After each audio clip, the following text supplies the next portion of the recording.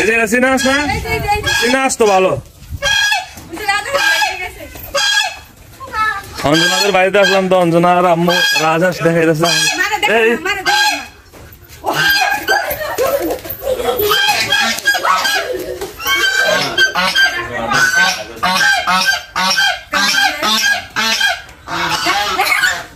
আন্টিরে তো কিছু করে না দেখা যায়। শুকর দেয় না তো?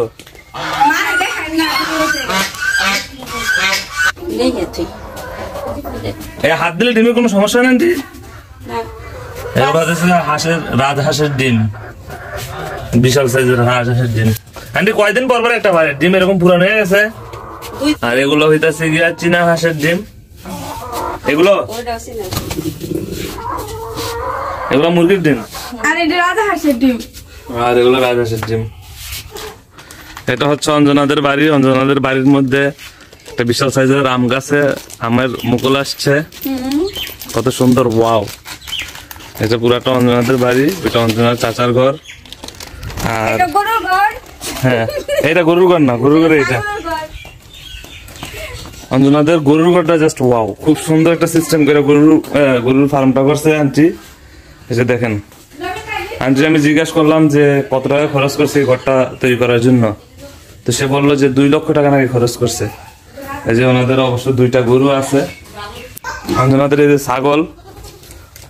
অঞ্জনার ছাগলের নাম অঞ্জনাই দিয়ে দিব অঞ্জনা ছাগল।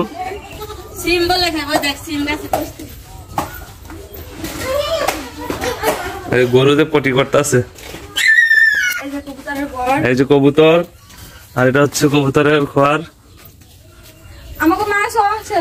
আর এটা হচ্ছে যে দেহি হাট দেখা একটা একটা করে এগুলো হচ্ছে অঞ্জনাদের ছাগলের ফার্ম।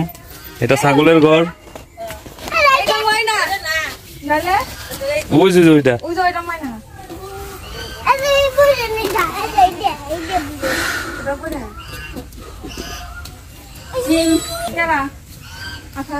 হচ্ছে অঞ্জনার বাড়ির পাশের জমি। আন্টি এই যে জমিতে মাটিগুলা কাইটে রাখছেন এগুলা কি করতে? ও আচ্ছা আচ্ছা। এটা নিচা দেখে একটু ওষা করছেন না? ও আর পুরা দেখো না, block করছি। পুরা বাড়ি বলে হেলাইতো ওই যে রাজহাঁস এদিকে এসে আদার খাইতেছে। আর এখানে পানির মধ্যে থাকে। এই যে সারেরা আসতেছে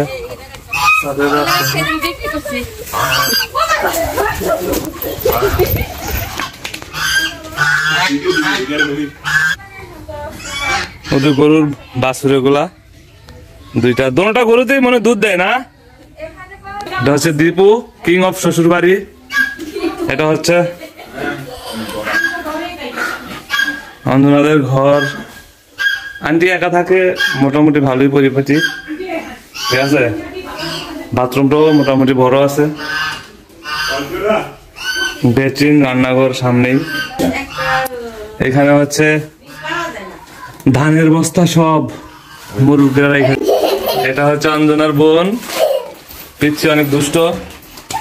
সারাক্ষণ খালি দৌড়াদৌড়ির মধ্যে থাকে। এটা হচ্ছে অঞ্জনাদের বাড়ির রাস্তা। অঞ্জনার দাদার বাড়ির রাস্তা। ঠিক আছে? অঞ্জনার নিয়ে আমরা ঘুরতে বাইরেছি হাই গাইজ আমরা এখন আহ, সবাই হাঁটতেছি আর চিল করতেছি। তো আসলে এলাকাটা খুবই খুবই মনোমুগ্ধকর এবং খুবই আহ, নিরিবিলি একটা এলাকা। মানে একদম মুক্ত হাওয়ায় নিঃশ্বাস নিতে খুবই ভালো একটা জায়গা। অনেক ভালো লাগতেছে। তোর দাদার বাড়িতে আইসা? দেখতে হবে এটা আমার দাদার বাড়ি। কই যাও আরেকজনের বাড়িতে?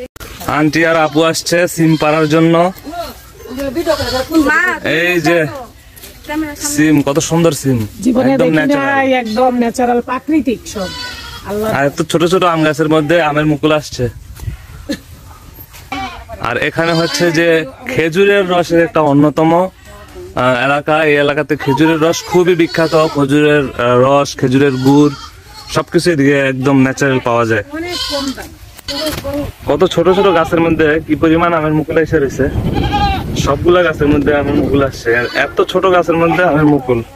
হচ্ছে বাড়ির মধ্যে লেচু গাছ, লেচুর ফুল আসছে। কোনো কিছুর মানে কমতি নেই, সবকিছুই আছে। অঞ্জনার দাদার বাড়িতে। আর এই যে রাজহাঁস একটু পানিতে যায় আবার আসে একটু পানিতে যায় আবার আসে। আমরা আসলাম অঞ্জনার আব্বুর পেঁয়াজের চাষাবাদ দেখতে। তো এটা হচ্ছে ওনার জমি বিশাল সাইজের পেঁয়াজের জমি। আঙ্কেল এইটাই পেঁয়াজ খেত আছে না আরও আছে আপনার? না এটাই শুধু? এটাই এটার মধ্যে কয়শো মন পাইবেন পেঁয়াজ? একশো মন মন মন হইব মানে একটু ফলন কম হইবে এবার বৃষ্টির জন্য হ্যাঁ? তো এই যে আঙ্কেল দেখাইলো। এই যে পেঁয়াজ হয়ে গেছে। এগুলোর মধ্যে এখনও পেঁয়াজের ফুল আসে নাই না আঙ্কেল? ফুল কিছু না। কিছু কিছু আসছে? ফুল- আচ্ছা আচ্ছা। এগুলো তো উঠে আবার বিক্রি করবেন না? ফেলে দেবো। দিবেন? এগুলো আবার ঢাকা শহর বিক্রি হয় অনেক। আপনি যদি ট্রাক ভরে নিতে পারেন তাহলে ভালো দামে বিক্রি করতে পারবেন।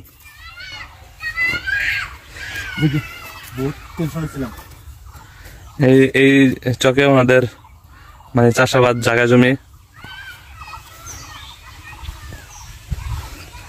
এই যে আপনারা যে জমিটা দেখতে পারতেছেন, এটা হচ্ছে একদম শেষ মাথা অবধি অঞ্জনার আব্বুর। উনি এটার মধ্যে পেঁয়াজ চাষ করছে।